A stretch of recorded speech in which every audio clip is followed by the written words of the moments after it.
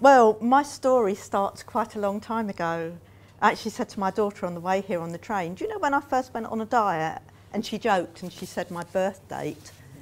And I said, Well, actually, you're two weeks out. At two weeks old, my mother was told to put me on a diet because I was fed too much food. I was a plump baby and I grew up basically to be a very plump child.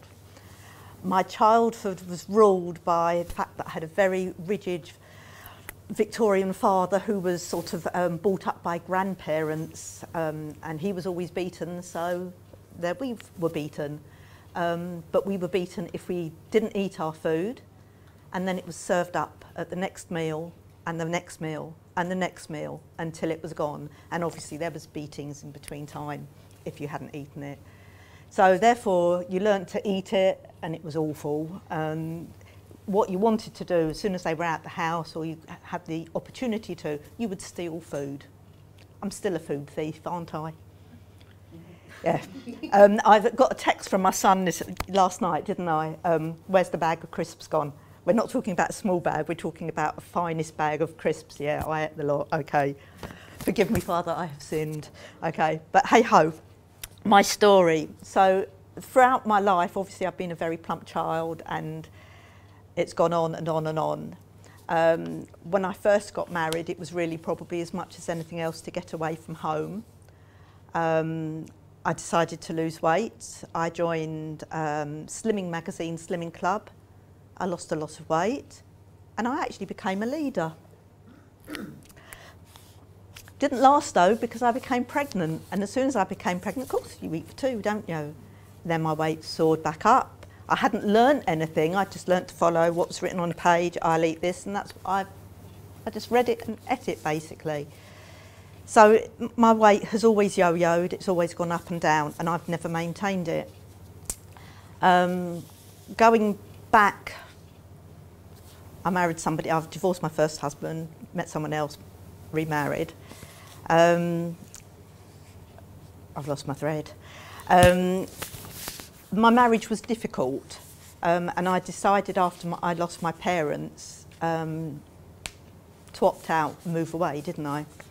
So I bought another house and I left the marital home and I went and lived somewhere away from home, away from the family, and worked there for five years, going home to the family home at weekends because really, I, to be quite honest, I was a coward and wouldn't divorce my husband. But after about five years, children said, come home, mum. So I did. Things were very difficult. They didn't seem to get any better. My weight was obviously going, I'd lost a lot of weight whilst I lived on my own, didn't have those anxieties. As soon as I was back, within months I'd started piling it back on. And then the fateful day happened. We had, all had a week's holiday. Um, Laura had just started her first week's work somewhere. And um, we were all in bed. We've got a puppy. Um, I'm on holiday. So I think, oh, nice lying. And all I could hear was the dog yap, yap, yap, yap, yap. And it had gone on for about half an hour. So bedraggled, fat in my great big dressing gown, all messed up and looking atrocious. I'd gone down the stairs to see a strange man standing in the doorway of my living room. But not only that, there was a few more strange people in there because they were the police and they had come to see my husband about an offence he'd committed. Um, and basically he was arrested and taken away. Um, I'll leave it to your imagination what he was doing, but I think it was probably pretty obvious, we can all guess. Um, he was found guilty um, and I divorced him with my children depressed, my daughter wanting to leave home, I wanted to leave home. What the hell do we do? I was so rock bottom. I was really rock bottom. Sorry. My daughter found a leaflet, didn't you, that was for going to have a gastric band, and she begged me, please don't have an operation. So I took on board what they said, and I thought, okay, I won't do this but I've got to do something. I was so, so desperate to lose weight. By then, obviously, I was at my absolute maximum. I happened to come home from work, I wasn't well or something, or I happened to be at home and I put the television on and I caught the last two minutes of a mother and daughter sitting and talking on breakfast television. and they lost weight through hypnosis. Oh, I thought, God, that, that can't be real, it can't be true. Rubbish. You know, I'd sent off for these leaflets, but hey ho. So I turned the computer on and I started looking at hypnosis things. And I found um, a hypnosis company where I live in, on the borders of Croydon in Epsom, which is about 20, 20 minutes, half an hour drive. And I thought, yeah, well, £50 a session, but if I went, uh, I wouldn't want to tell people that I'm going. They probably don't work weekends. I found every excuse not to go to this hypnosis place in Epsom.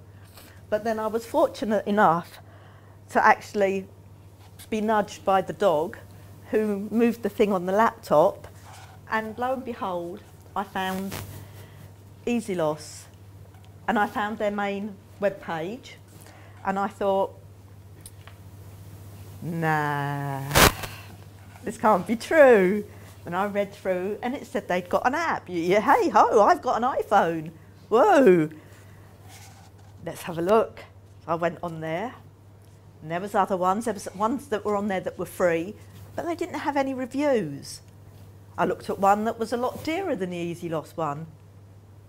Didn't have any reviews. Got money on my Apple account, and I thought, yeah, okay. Uh, it was six quid when I bought it, or six ninety nine. I thought I'm going to treat myself, so I did. I treated myself, and that was probably on a Wednesday evening. Did I open it? No. It's downloaded on the iPhone. Didn't look at it. Didn't look at it. I had it for about 10 days.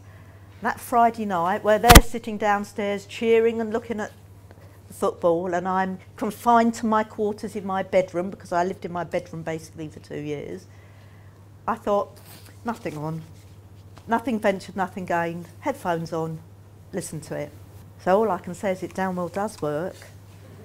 Um, and if you listen to what's in there, we're all intelligent. None of us are stupid. It does work.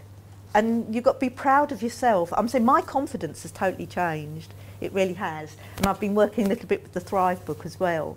And it really does make a difference. But the maintenance, to me, is the biggest achievement more than my weight loss. I know the weight loss is important to those who want to lose it, but even if you lose a stone and can maintain that stone off, if you lose two stone and then maintain it. That's more, that's more important than the outcome, or I think it is, because other people will know that you've lost that, and well, you should not put it back on.